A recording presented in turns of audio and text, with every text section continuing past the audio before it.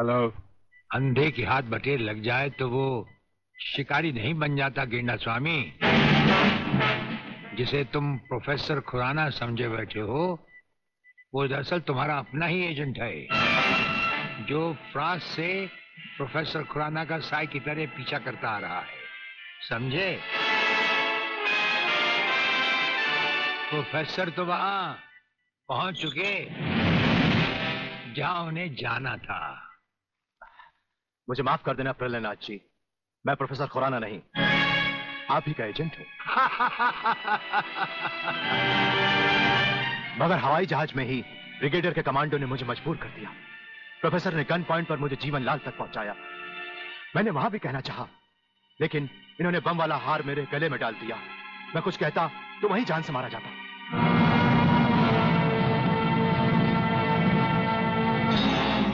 तुम वहाँ पर भी मारे जाते। और यहाँ पर भी मारे जाओगे।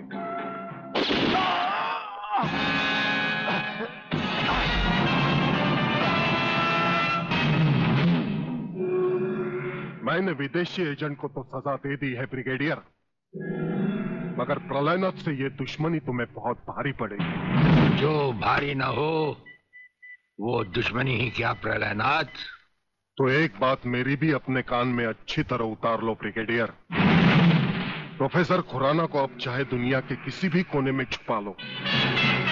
मैं उसे हासिल करके ही रहूँगा। शेख चिल्ली की तरह दिन को सपने देखने छोड़ दो गेंडा स्वामी। हम आँखों से सुरमा नहीं चुराते, हम आँखें ही चुरा लेते हैं, ताकि सुरमा लगाने की नौबत ही ना आए। और फिर तुम्हारा अंजाम तुम्हारा अंजाम वही होगा। ये आप क्या कह रहे हैं? बेईमानी न मेरे खून में है न डॉक्टरी पेशे में। डॉक्टरी पेशे की तो बात हम अभी करेंगे नहीं। डॉक्टर गुप्ता इस वक्त बात है तुम्हारे सच और झूठ की। माथे पे आया हुआ पसीना पोछो और हमें राजा टंडेल की झूठी नहीं सच्ची रिपोर्ट की असलियत बताओ। झूठी रिपोर्ट? हाँ जो रिश्वत लेकर तुमने बनाई और एक मामूली सी प्रेगनेंसी को एक खौफनाक रेप का केस बनाकर संजय और उसके दोनों साथियों को हवालात में पहुँचा दिया। ये सब झूठ है। आपको किसी ने गलत बताया है? चिल्लाने से झूठ नहीं छुपता डॉक्टर गुप्ता। हमें पहचानो हमें ब्रिगेडियर सूर्यदेव सिंह कहा जाता है। हम मुर्दों से सच उगलवा लेते हैं तुम तो फ़िलहाल ज़िंदा हो। सच सच कह डालो। आप समझते क्यों नहीं ब्रिगेडियर साहब? मैंने कोई गलत रिपोर्ट नहीं बनाई और न ही कोई रिश्वत ली है। फिर ये क्या है डैडी? ये देखिए।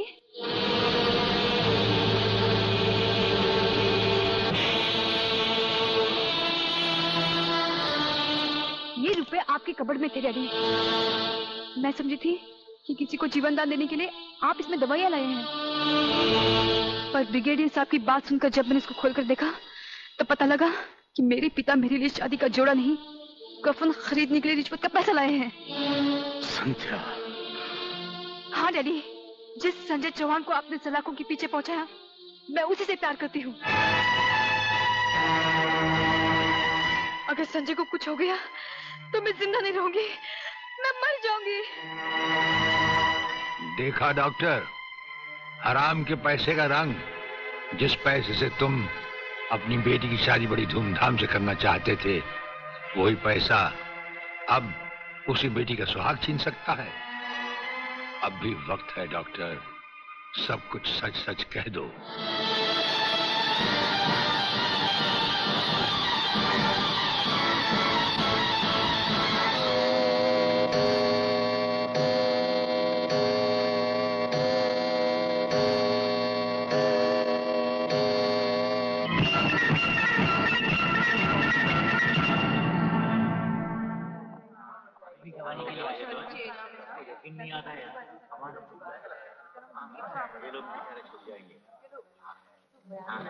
ऑर्डर ऑर्डर अब डॉक्टर गुप्ता बयान देंगे जिससे सारी अदालत के सामने ज़ाहिर होगा कि असलियत क्या है। जज साहब मिस राधा टंडेल के बलात्कार की झूठी रिपोर्ट मैंने ही तैयार की थी। सच्चाई यह है वो पेट से थी और उनका अबॉर्शन मैंने ही किया था। जज साहब मैंने अपना ज़मीन बेच दिया था। मैं अदालत के सामने कबूल करता हूँ कि मैं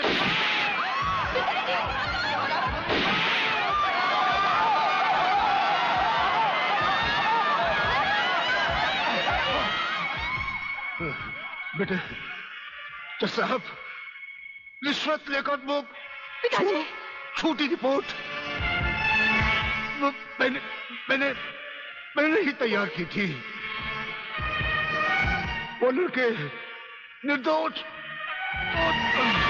पिताजी! नहीं ये नहीं हो सकता। पिताजी पिताजी पिताजी नहीं।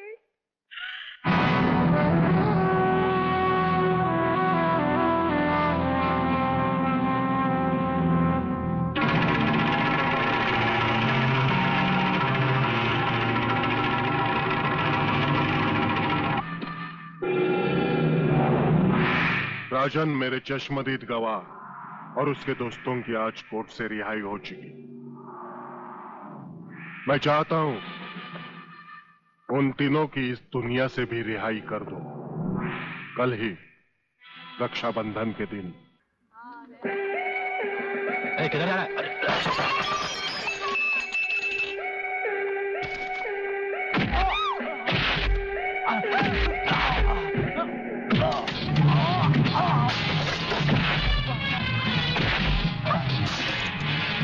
Ah, ah, ah, ah.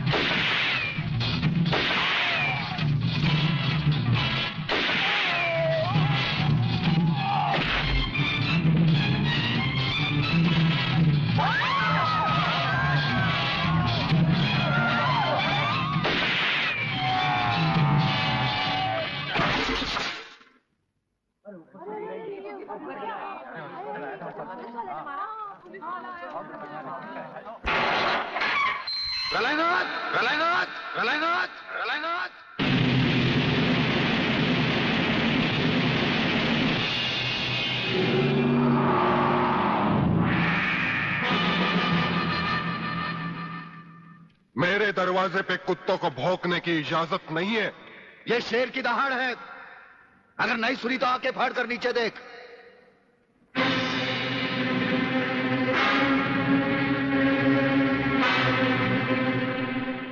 Inspector Wagle तो अपने आप को समझता क्या है? तेरे जैसे पता नहीं कितनी खाकी वर्दी वाले हमारी घर की चौकीदारी करते हैं। नौकरी करता है पंद्रह सौ रुपए की और बात करता है प्रलयनाथ से। यही पंद्रह सौ की नौकरी करने वाला एक दिन तुझे डेढ़ सौ का कफन पहनाएगा प्रलयनाथ। आज से तू उल्टी गिनती गिनना शुरू कर दे। जिस दिन भी मुझे तेरे खिलाफ एक भी सबूत मिला ना, तुझे ऐसी मौत मारूँगा कि तेरी पापी आत्मा अगले सात जन्म तक किसी दूसरे शरीर में घुसने के पहले काँप उठेगी। अबे चुप। एक लफ्ज भी आगे बोला तो भून के रख दूँगा। तू मारेगा मुझे। हैं? चल। चला। अब क्या सोच रहा है? चला गोली। अपनी माँ का दूध पिया है तो चला गोली। इस बदन को छूने के लिए शेर का कलेजा चाहिए। तेरे जैसा बुजदिल और नामद मुझ पे क्या गोली चलाएगा? चला।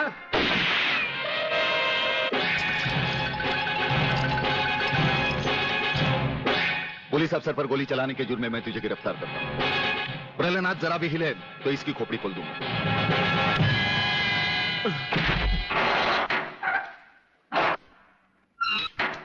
अगले। मेरा बाप तुझे छोड़ेगा नहीं। आखिर तुमने वही किया जो हम नहीं चाहते थे। आज तक एक बात मेरी समझ में नहीं आई। आखिर आप चाहते क्या है? क्या आप ये चाहते हैं कि एक के बाद एक की मौत होती रहे और हम चुपचाप देखते रहे? पहले डॉक्टर गुप्ता की मौत हो गई, फिर अली मारा गया। आज इस प्रहलाद के पिल्ले ने मुझ पर गोली चलाई। ये देखिए अगर मैंने बुलेट प्रूफ जैकेट नहीं पहनी होती तो मरने वालों की लिस्ट में मेरा भी नाम जुट जाता। लेकिन इसने तुम पर गोली क्यों चलाई? क्योंकि मैंने इसे मजबूर किया था। हम्म, इसके खिलाफ सारे सबूत मैंने पहले ही इकट्ठा कर लिए थे। सवाल था उंगलियों के निशान का जो इस रिवॉल्वर पर मौजूद हैं। एक बात मैं दावे के साथ कह सकता हूँ सर। अनिता चौधरी का कातिल और राधा टंडेल से शरीर संबंध रखने वाला यही है रसिकनाथ डीआईजी के बेटे संजय को फंसाया है क्योंकि वो अपने बाप के कातिल का चश्मदीद गवाह है। वागले, अब हम इसे उस अस्पताल में ले जाएँगे जहाँ इसके अंदर के छुपे हुए राज एक बीमारी की तरह बाहर आ जाएँगे।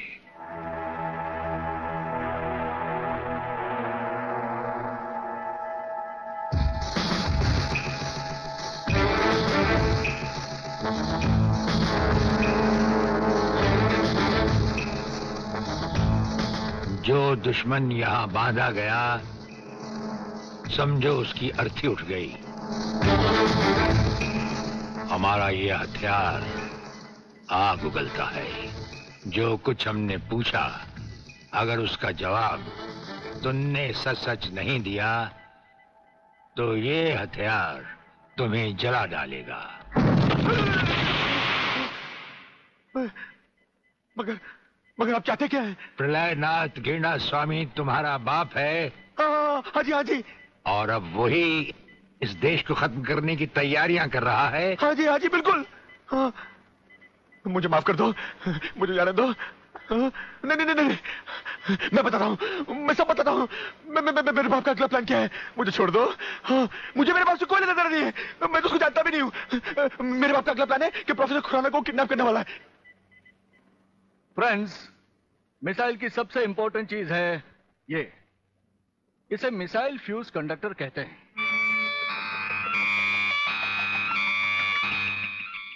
जब तक ये मिसाइल में नहीं लगेगा मिसाइल टेक ऑफ़ नहीं कर सकता। वो एक मुर्दे की तरह होगा। पहले हमारे देश में मिसाइल फ्यूज कंडक्टर बनाना इतना आसान नहीं था जो कि अब हो गया कोई हिलेगा नहीं।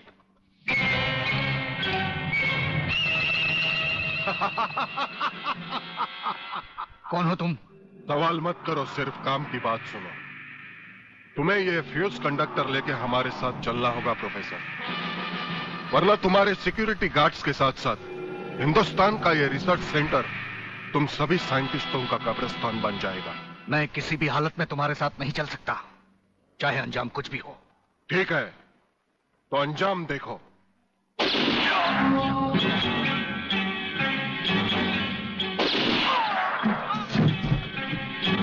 नहीं नहीं ये इस देश के भविष्य है।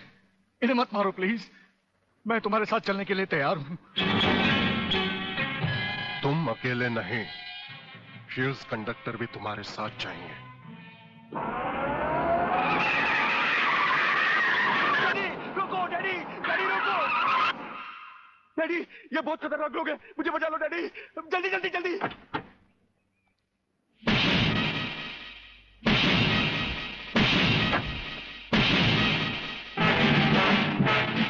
प्रलयनाथ वो रहा तुम्हारा कबूतर बेटा, और उसके गले में है जला देने वाला बम।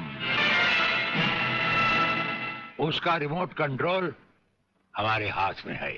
अगर तुमने एक कदम भी आगे बढ़ाया तो उसे जलाकर राख कर दिया जाएगा।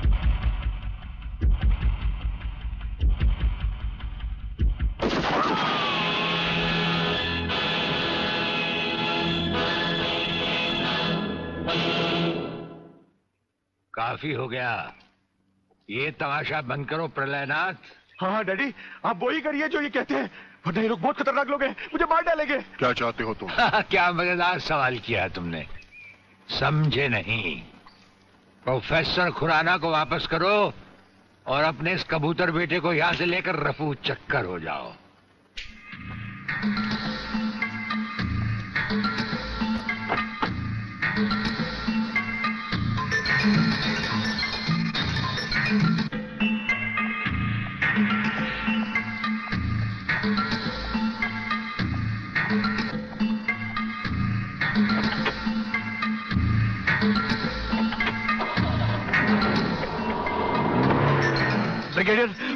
वो फ्यूज कंडक्टर आप आप नहीं जानते? हम सब कुछ जानते हैं प्रोफेसर उसकी गाड़ी में हमारा ट्रांसमीटर लगाया जा चुका है। वो जो कुछ भी कहेगा, जो कुछ भी करेगा, जहाँ कहीं भी जाएगा, उसकी हर एक मूवमेंट की खबर हमें मिलती रहेगी।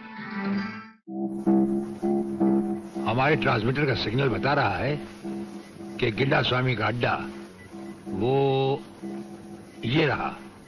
ये से बाहर एक वीरान जगह, पहाड़ियों के बीचों बीच है। Commandos ready for operation Tiranga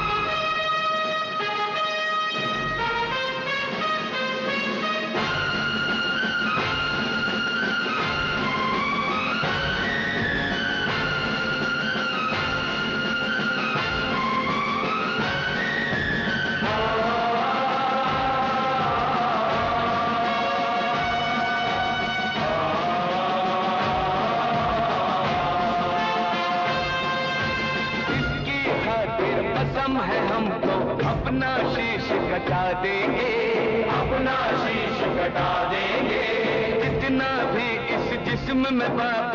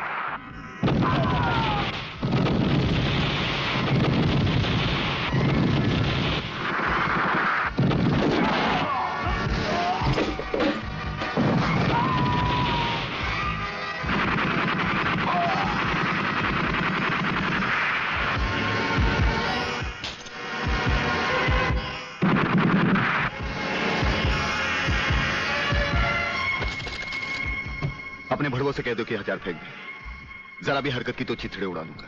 हाँ, हथियार फेंक दो।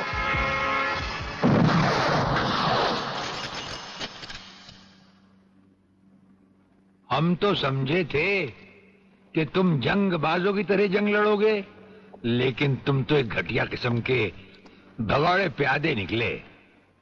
अधूरे में ही हथियार डाल दिए। प्रलयनाथ कभी कोई जंग अधूरी नहीं लड़ता ब्रिगेडियर। देखना चाहते हो तो देखो।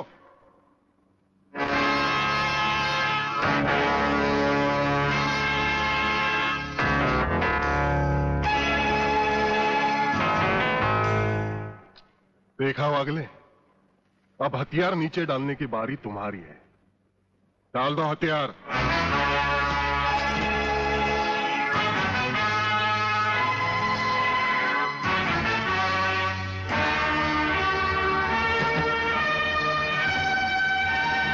ब्रिगेडियर हथियार नीचे डाल दो।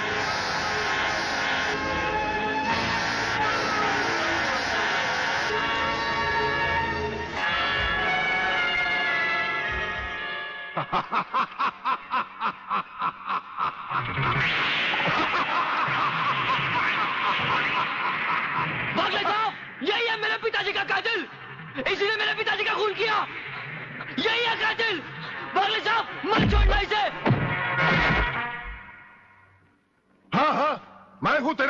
कातिल। और आज तुम सबका कत्ल भी मेरे हाथों से ही होगा। पागले, तुम्हारी गर्मी को ठंडा करने का सामान भी मैं साथ लाया हूँ। वो देखो।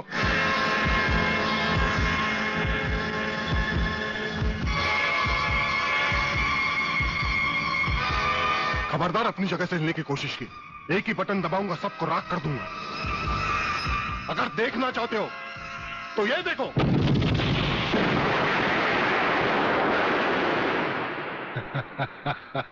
देखा ब्रिगेडियर, मेरी जंग की शुरुआत और इसकी इंतिया होगी तुम्हारी बर्बादी और हिंदुस्तान का खात्मा। हिंदुस्तान का खात्मा? हिंदुस्तान का खात्मा तो सदियों से कोई नहीं कर सका। वो तो एक ख्वाब रहा, जो न कभी पूरा हुआ था और न कभी होगा। रहा हमें मारने की बात तो फिर हिंदुस्तान में शेर बचे ही कितने हैं?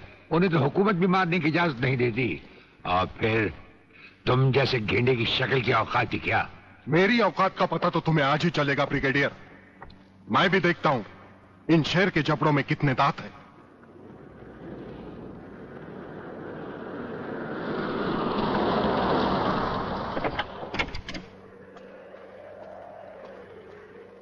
नमस्कार शिवाजी राव वागले। आओ आओ हीड़े की औलाद तेरी कमी थी आ। जब तक हमारे देश के हिस्से में तेरे जैसे मंत्री आएँगे ना हमारे देश का इसी तरह कल्याण होता रहेगा। नमस्ते। वाह प्राणनाथ जी वाह। क्या खूब मिलाई है इन दो देशभक्तों की जोड़ी जो आज देश के नाम पर एक साथ शहीद हो जाएँगे। कई शहीद होते आए हैं और कई शहीद होते रहेंगे अपनी धरती माँ को बचाने के लिए। लेकिन तुम जैसे लोग जो अपने आप को ही नहीं, अपनी माँ को भी दौलत की खातिर बेचते आए हैं। और उनका अंजाम एक गुमनाम लाश की तरह होगा, जिसे गिद्ध और चीले नोच नोच कर खा जाएँगे। नोच नोच कर तो हमारे आदमी तुम्हें खाएँगे। मैंने फैसला किया है, आज पंद्रह अगस्त के दिन मैं इस देश को बर्बाद कर दूँगा। आज वो दिन हमारे और तुम्हारे सामने है। ध्वजारोहण को अब सिर्फ़ 24 मिनट बाकी है। और 25वें मिनट में क्या होगा, वो तुम सब अपनी आँखों से देखना। Pralay one, out. Ready for target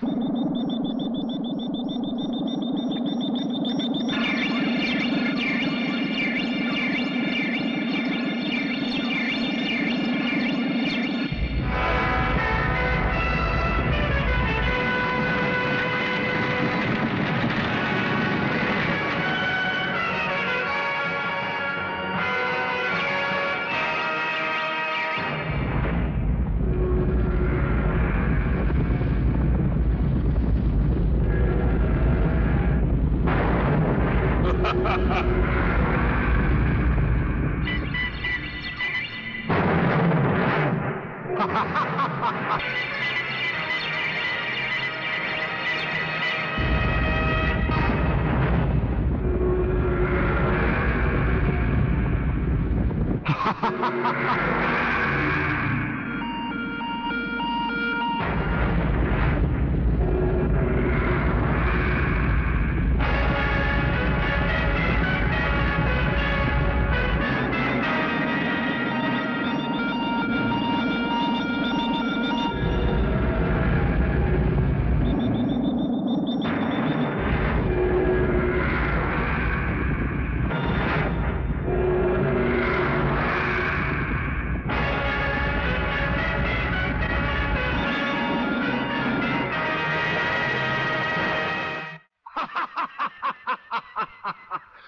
देखा, ब्रिगेडियर?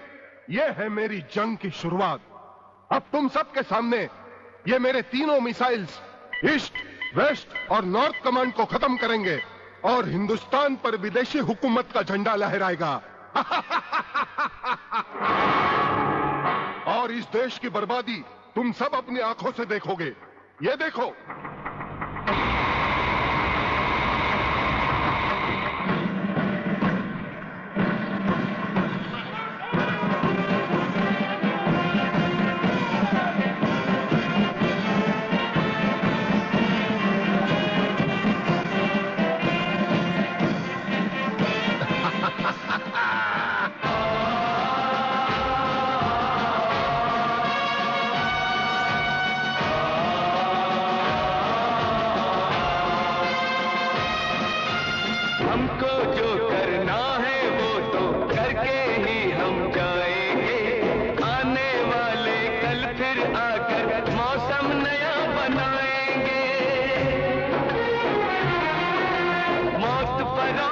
से अब उनको हम अपने अपने नापों का वो खुद ही कफन सिलाएँगे।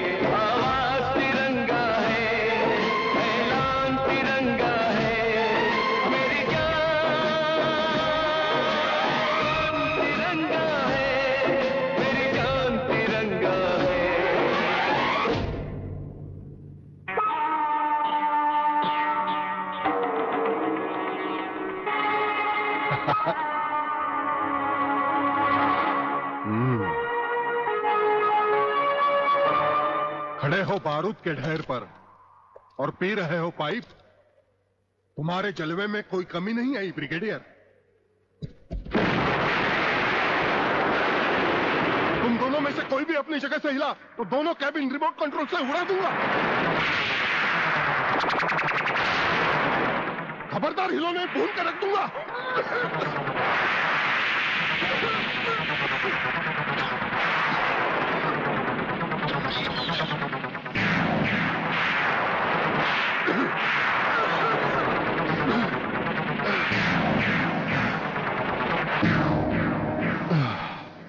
ये तो हमारे एक छोटे से पीने वाले पाइप का कमाल था। अगर कहीं भूले से हमारे इस रुमाल को हाथ लगा बैठते तो जलकर राख हो जाते, गेंडा स्वामी। जलकर राख कौन होगा? इस बात का पता तुम्हें अभी चल जाएगा, brigadier. Pralay one, start.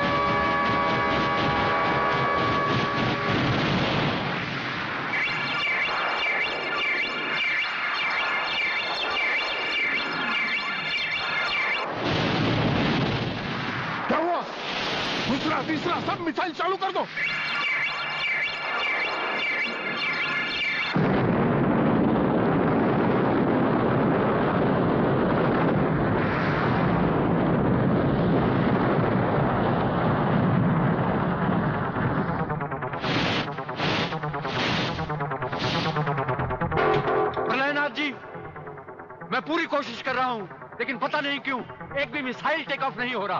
Guards इसका टेक ऑफ़ कर दो। हमारा वो पाइप डायनामाइट से भरा हुआ था। हम जानते थे कि तुम कभी ना कभी हमारे हाथ से छीन कर उसे फेंकोगे। उसी के धुएँ की आग लेकर हमने तुम्हारे सब मिसाइल के फ्यूज कंडक्टर निकाल लिए हैं। गेंडा स्वामी फ्यूज कंडक्टर अब तुम्हारे मिसाइल में सिर्फ़ धुआँ रह गया और कुछ भी नहीं। बाकी बचे तुम, गेंडा स्वामी। उसे तो हम निपट लेंगे। ढूंढा डालो इसे।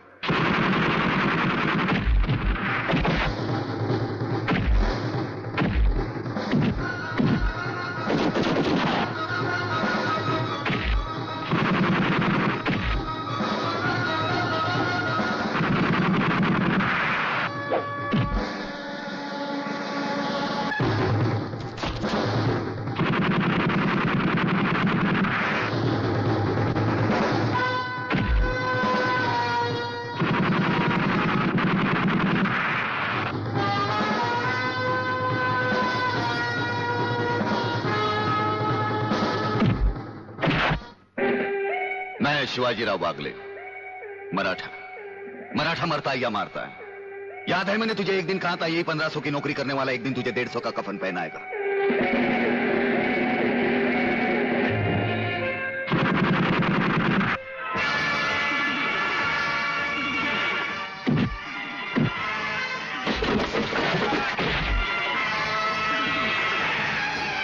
भाग रहे हो जानी। प्रधानमंत्री का ख्वाब देखने वाले मंत्री ब्रिगेडियर का सलाम नहीं लोगे। नहीं नहीं मुझे मत मारो मुझे मत मारो। जैसा गद्दार और कहता है मुझे